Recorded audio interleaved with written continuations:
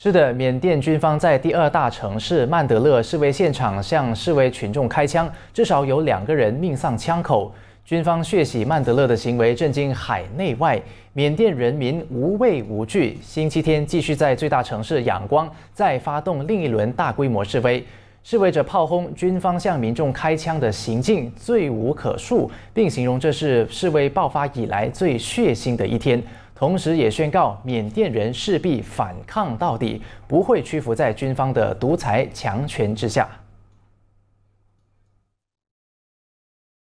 လူတွေကိုမနေ့ကမန္တလေးမှာလူတွေတေဆုံးမှုဖြစ်သွားတယ်တေဆုံးမှုဖြစ်တယ်ဆိုတာဒါကကျွန်တော်တို့ကငင်းညမ်းစွာဆန္ဒထုတ်ဖော်တယ်ငင်းညမ်းစွာဆန္ဒထုတ်ဖော်တယ်အကြမ်းမဲ့ဖက်ပဲနေတဲ့ခါကျွန်တော်တို့ကိုတမင်ကျွန်တော်တို့ပေါ့နော်ဒီအကြမ်းဖက်တဲ့လူတွေကိုဒုက္ခရောက်အောင်လုပ်တယ်တေဆုံးအောင်လုပ်ပြီးပေါ့ဒါကဘာလုပ်တာလဲဆိုတော့ဆရာနာရှင်ဆိုရကျွန်တော်တို့ပြည်သူတွေလမ်းပေါ်ထွက်ပြီးဆန္ဒပြတဲ့ကိစ္စကိုသူတို့ဘက်ကရပ်တန့်စေချင်တဲ့ကျွန်တော်တို့ကိုဒါပြင်းပြင်းထန်ထန်နှိပ်ကိုပြရတဲ့အတွက်ဖြစ်တယ်အဲ့ဒီအတွက်ကြောင့်ကျွန်တော်တို့ပြည်သူတွေအနေနဲ့သူတို့ဘက်ကသူတို့မတရားနှိပ်စက်တဲ့အပေါ်မှာလက်မခံမဲနဲ့ကျွန်တော်တို့ပူပေါင်းပြီးတော့ရှေ့ဆက်ပြီးတော့တိုက်ပွဲဝင်ကြရမယ်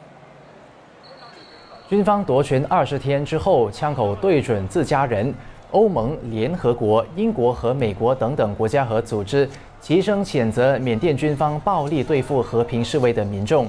美国社交媒体巨擘面子书星期天也多也以多次违反禁止煽动暴力的社区标准，删除了缅甸军方的官方面子书专业。二月一号凌晨，缅甸军方以大选舞弊为由。扣押国务资政昂山素季和总理温敏等一众民选领袖，同时宣布实施一年的紧急状态，将国家的权力移交给国防军总司令。